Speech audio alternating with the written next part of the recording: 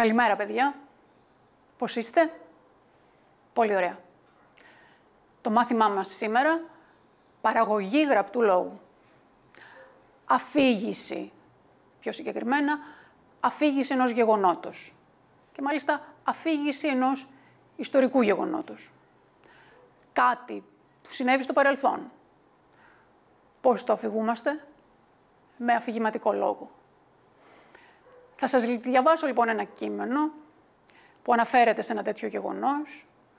Θα το ακούσετε. Ίσως σας θυμίσει και κάτι που είναι λίγο πιο σύγχρονο. Ακούμε λοιπόν. Ήταν στα τέλη του Μεσαίωνα. Συγκεκριμένα στα τέλη του 14ου αιώνα, που μια τρομερή πανδημία κατέκτησε την Ευρώπη.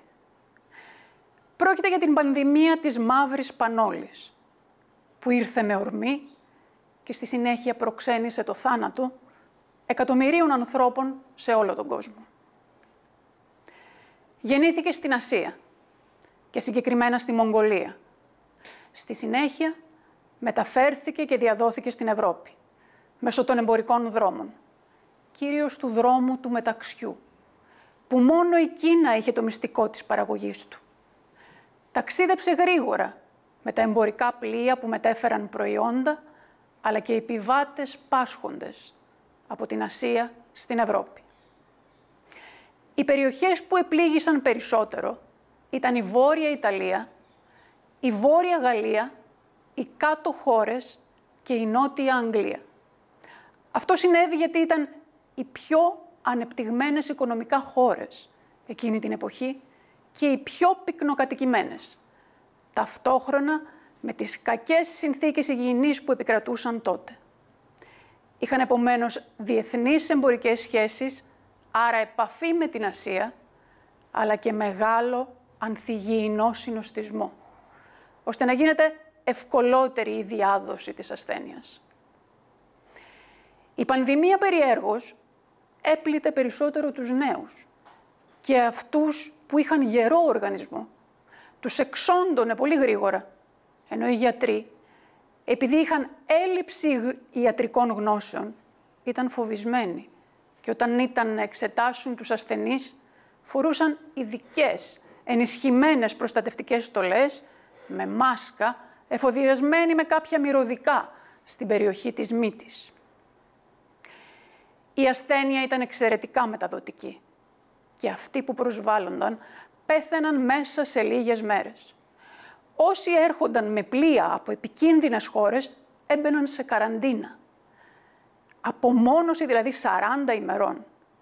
Αλλά επειδή εκείνο τον καιρό δεν υπήρχαν φάρμακα, μόνο κάποια βότανα χρησιμοποιούσαν και δεν φρόντιζαν τις συνθήκες υγιεινής τους, όπως το πλήσιμο των χεριών, η πανδημία προξένησε το θάνατο εκατομμυρίων ανθρώπινων ζώων. 100 ως 200 εκατομμύρια με διάφορους υπολογισμούς. Το αποτέλεσμα ήταν να αλλάξει η οργάνωση της κοινωνίας, τα είδη εργασίας και επομένως η δομή της οικονομίας της εποχής. Δεν υπήρχαν πια, για παράδειγμα, υγιείς και δυνατοί άνθρωποι να δουλέψουν στις σκληρές αγροτικές δουλειές και έτσι επήλθε το τέλος της φεουδαρχίας. Χρειάστηκαν πάρα πολλά χρόνια για να ξεπεραστούν οι συνέπειες μιας τόσο σκληρής πανδημίας. Ήταν πραγματικά κάτι πολύ καταστροφικό και τρομακτικό. Ο άνθρωπος είδε για άλλη μια φορά πόσο αδύναμος και ευάλωτος είναι. Συνειδητοποίησε σιγά σιγά ότι πρέπει να ακολουθεί κανόνες υγιεινής. Μάλιστα βελτιώθηκε και ο τρόπος που έχτιζαν τα σπίτια τους, πιο προστατευμένα και πιο ασφαλή. Και επιτέλους κατάλαβαν ότι η ιατρική πρέπει να αναπτυχθεί σαν επιστήμη και όχι να ακολουθεί δυσιδαιμονίες. Και φυσικά εμείς σήμερα αναγνωρίζουμε ότι πρέπει να αντιμετωπίζουμε τέτοια πανανθρώπινα ζητήματα με συνεργασία, οικειοθελή πειθαρχία και αλληλεγγύη. Είναι καταστάσεις που πρέπει να ενώνουν τους ανθρώπους και να τους υπενθυμίζουν ότι είμαστε όλοι ίσοι, με τις ίδιες ανάγκες και είμαστε υποχρεωμένοι να σεβόμαστε τον κάθε συνάνθρωπό μας και και να μην αδιαφορούμε για το κοινό καλό. Αυτό λοιπόν ήταν το κείμενο, παιδιά. Η αφήγηση ενός ιστορικού γεγονότος. Ε, κάτι θα μας θυμίζει λίγο αυτή την εποχή. Ας εξετάσουμε όμως αυτό το συγκεκριμένο. Θα πάμε τώρα παράγραφο παράγραφο να δούμε πώς περιγράφουμε ένα γεγονός, ένα ιστορικό γεγονός. Αυτό είναι αρκετά παλιά, αλλά θα μπορούσαμε να περιγράψουμε και ένα γεγονός πιο σύγχρονο. Θα δούμε και μια τέτοια περίπτωση. Λοιπόν, πάμε αρχικά να δούμε την πρώτη παράγραφο. Ξαναδιαβάζω. Εκεί που είναι πιο ε, τονισμένα, μπορείτε να δώσετε και λίγη περισσότερη σημασία, γιατί μετά θα ακολουθήσουν και ερωτήσεις. Ήταν στα τέλη του Μεσαίωνα, συγκεκριμένα στα τέλη του 14ου αιώνα, που μια τρομερή πανδημία κατέκτησε την Ευρώπη.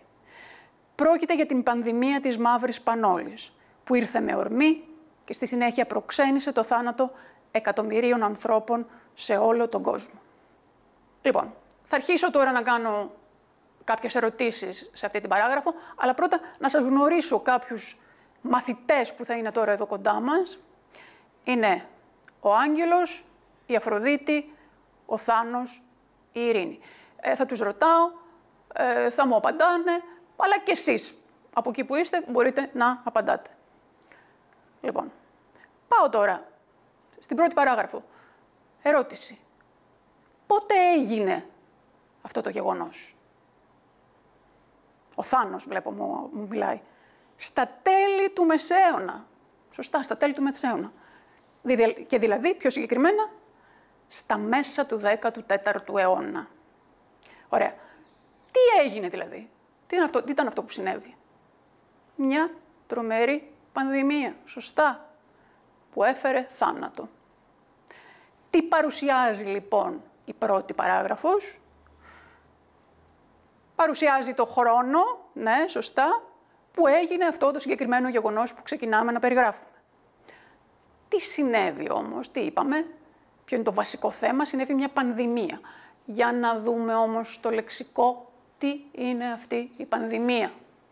Πανδημία λοιπόν μια σύνθετη λέξη, παν και δημία, δήμος, το παν, τι μας θυμίζει παντού. Ο δήμος τι είναι, λαός παντού λαός, κάτι που μεταδίδεται δηλαδή σε όλο τον πλανήτη, αλλά και σε όλο τον πληθυσμό. Μια ασθένεια λοιπόν που εξαπλώνεται σε όλη τη γη και προσβάλλει όλους τους ανθρώπους. Αυτό σημαίνει πανδημία. Θα έχετε ακούσει αυτή τη λέξη τελευταία, σημαίνει όμως αυτό, ότι προσβάλλει όλους τους ανθρώπους. Είναι, έχει τη δυνατότητα να προσβάλλει τους πάντες σε όλο τον κόσμο.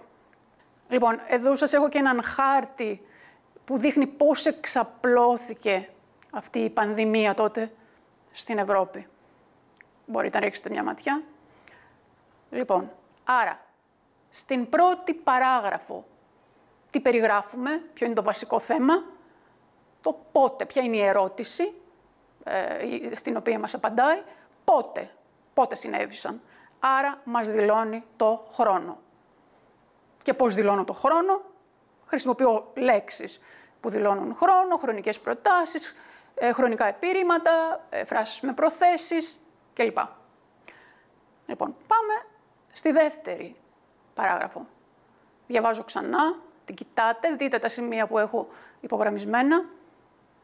Γεννήθηκε στην Ασία και συγκεκριμένα στη Μογγολία. Στη συνέχεια μεταφέρθηκε και διαδόθηκε στην Ευρώπη, μέσω των εμπορικών δρόμων κυρίως του δρόμου του μεταξιού, που μόνο η Κίνα είχε το μυστικό της παραγωγής του. Ταξίδεψε γρήγορα με τα εμπορικά πλοία που μετέφεραν προϊόντα, αλλά και επιβάτες πάσχοντες από την Ασία στην Ευρώπη. Λοιπόν, πάμε στις ερωτησούλες. Λοιπόν, δεύτερη παράγραφος. Πού γεννήθηκε λοιπόν αυτή η ασθένεια; Στην Ασία, σωστά. Πιο συγκεκριμένα, στη Μογγολία, λένε πολλοί επιστήμονες και πώς έφτασε από την Ασία, πώς έφτασε στους, ε, στην Ευρώπη.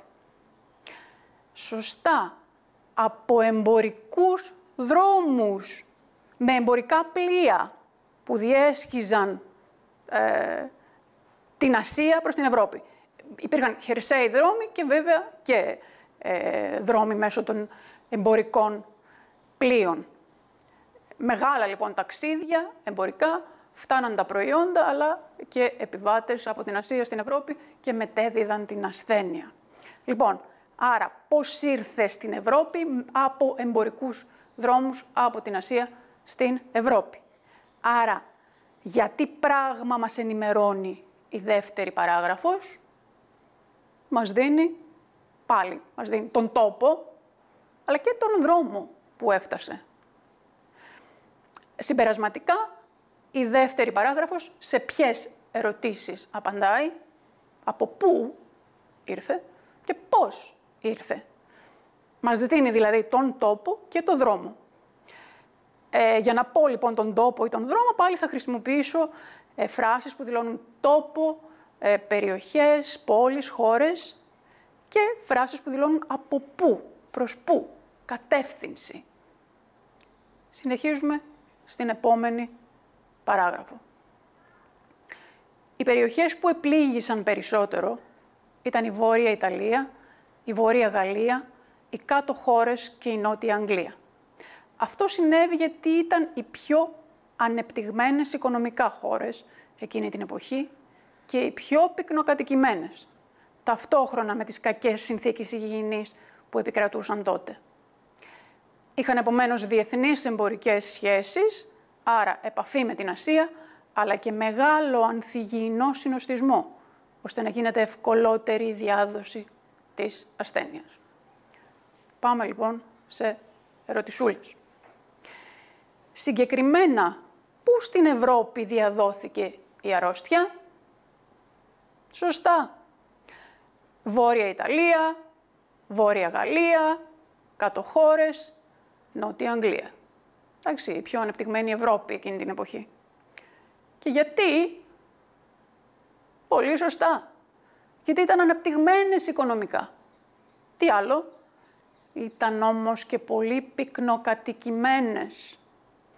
Και μάλιστα, τι άλλο εκείνη την εποχή; Δεν ακολουθούσαν τόσο καλές συνθήκες υγιεινής εκείνη την εποχή οι άνθρωποι. Άρα, να, ένας άλλος λόγος που διαδόθηκε τόσο γρήγορα η συγκεκριμένη ασθένεια.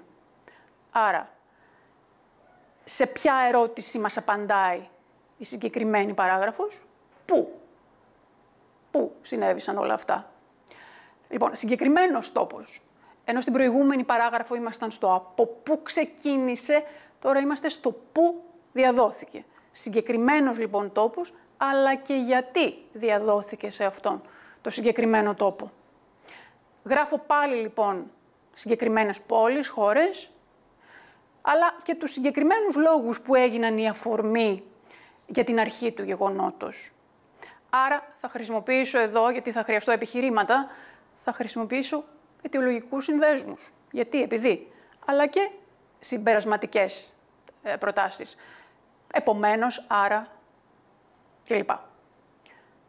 Πάμε στην τέταρτη.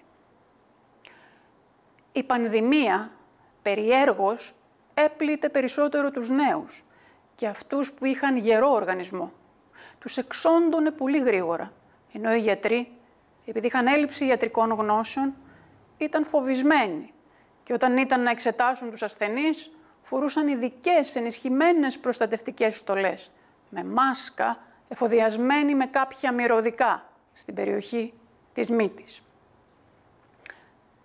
Ερωτησούλες για αυτή την παράγραφο. Ποιους έπλητε λοιπόν η αρρώστια; Σωστά. Τους νέους και τους γερούς οργανισμούς, περιέργως. Ποιοι ασχολούνταν μαζί τους, με τους ασθενείς; Κάποιοι γιατροί. Τι χαρακτηριστικό όμως είχαν τότε οι γιατροί; Σωστά. Ήταν κάπως φοβισμένοι. Γιατί τότε η ιατρική δεν ήταν τόσο αναπτυγμένη, παιδιά. Δεν είχαν αρκετές επιστημονικές γνώσεις. Είχαν πιο πολύ φόβο. Και μάλιστα, τι χρησιμοποιούσαν για να νιώθουν λίγο πιο ασφαλείς. Σωστά. Φορούσαν ενισχυμένες, προστατευτικές στολές και μάσκες. Άρα, να, εδώ μπορούμε να δούμε και έναν γιατρό της εποχής, ντυμένος με την ε, απαραίτητη στολή και την μάσκα. Βλέπετε, είναι σαν να έχει ένα ράμφος πουλιού, γιατί εκεί μπροστά βάζανε ε, κάποια αρωματικά που πίστευαν ότι τους προστατεύουν από την ασθένεια.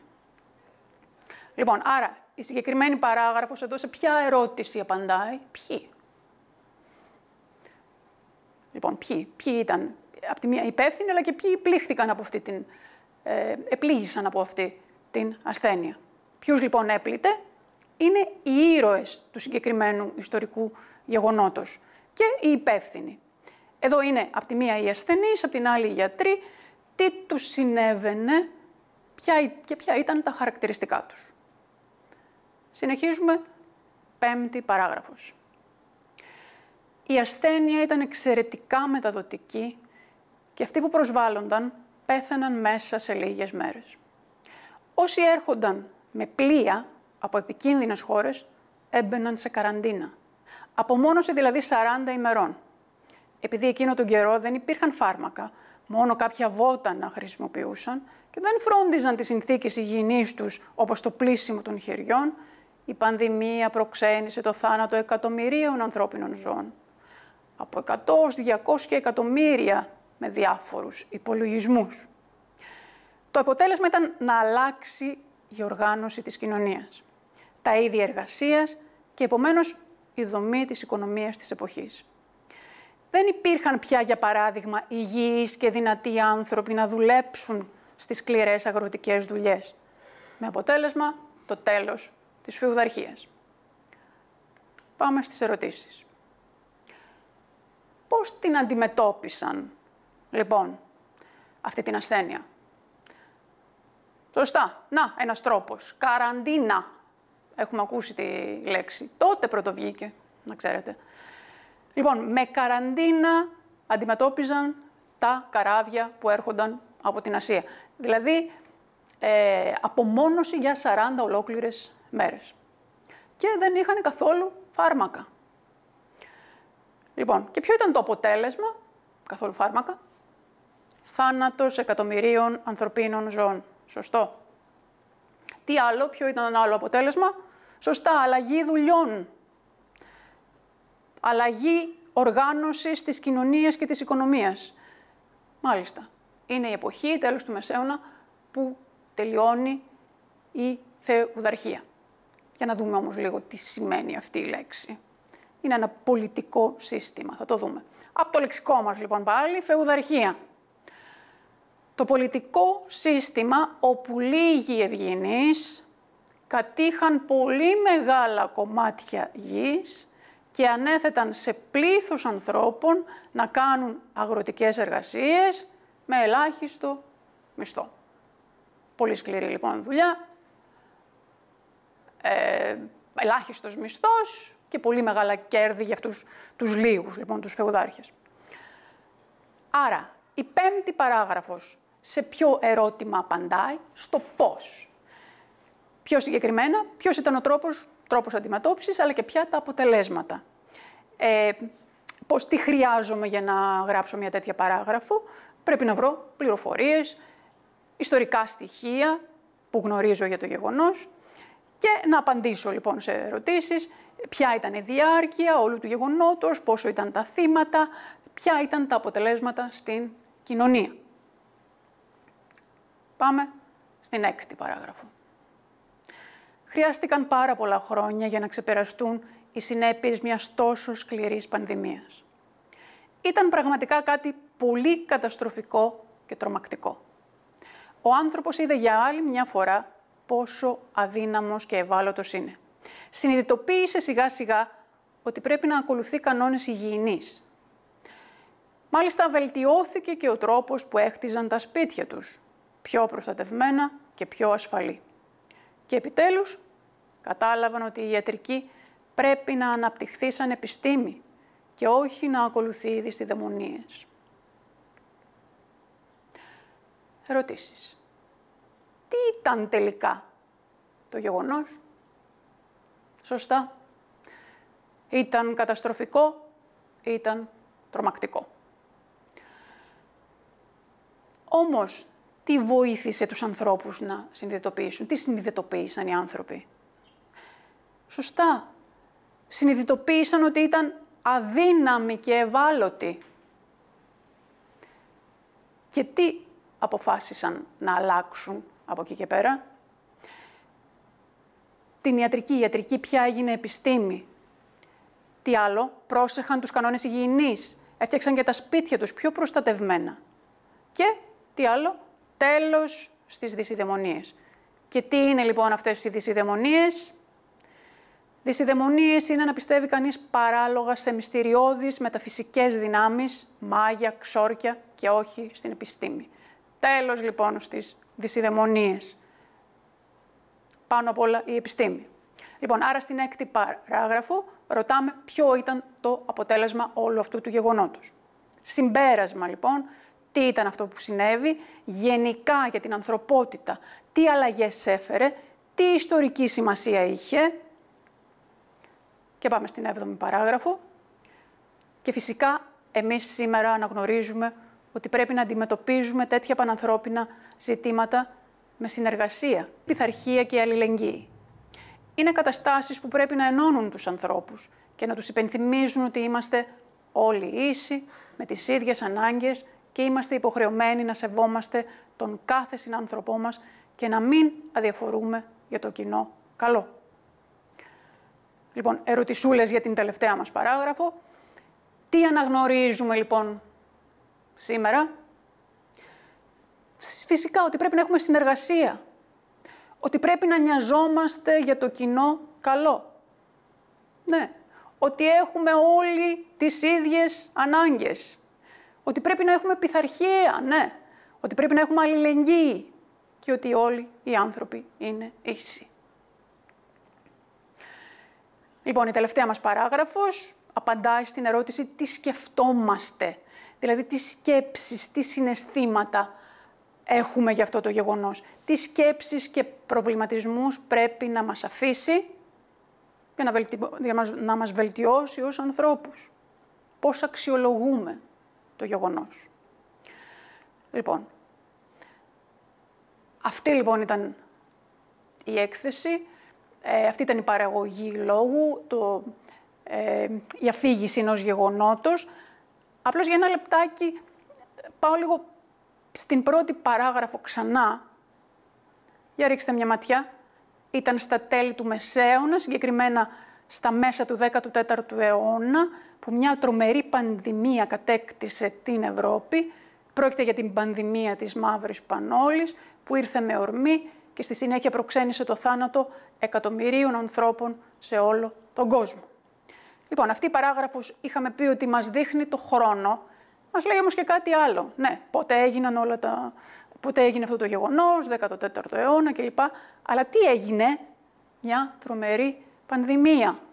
Τι μας παρουσιάζει δηλαδή η πρώτη παράγραφος, μας παρουσιάζει το χρόνο αλλά και το ίδιο το γεγονός που συνέβη, το ίδιο το γεγονός που θα παρουσιάσουμε, για το οποίο, θα, για το οποίο γίνεται η αφήγηση. Άρα η πρώτη παράγραφος είναι σαν να μας λέει με δύο λόγια μια μικρή περίληψη όλης της έκθεσης.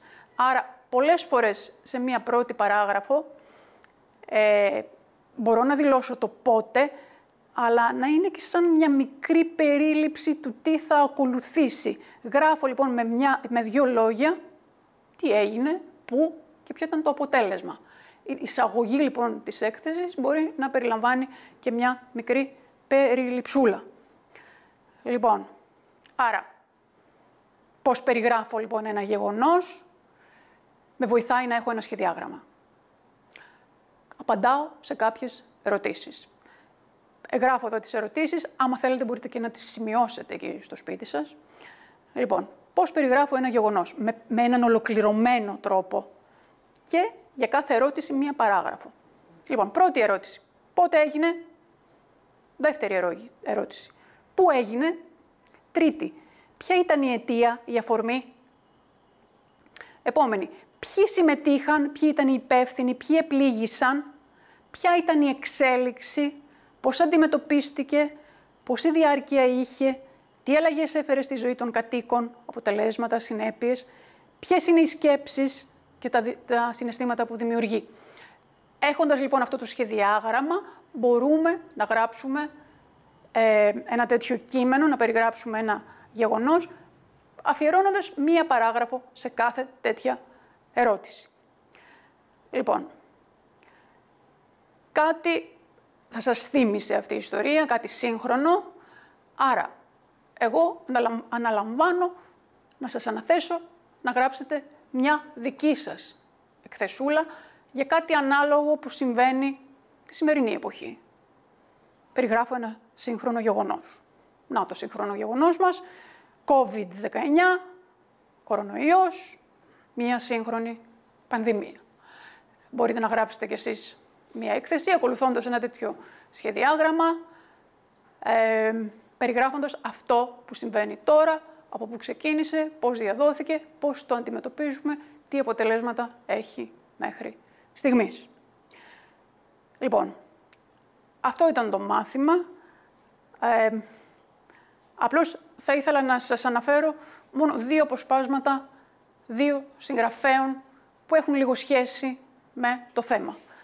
Ε, πρώτος είναι ο Βοκάκιος, έγραψε το έργο «Δεκαήμερο». Είναι Ιταλός συγγραφέας εκείνης της εποχής, της ε, Πανόλης, και ο οποίος, ε, από τη Φλωρεντία, ο οποίος παρατηρεί αναπόφευκτο το ίδιο αξιοθρύνει το αποτέλεσμα. Να φεύγει ο κόσμος μακριά από τους αρρώστους και το περιβάλλον τους. Στη σκέψη όλων αυτό ήταν το μόνο μέσον να σωθούν. Όλοι θέλανε να φύγουν μακριά.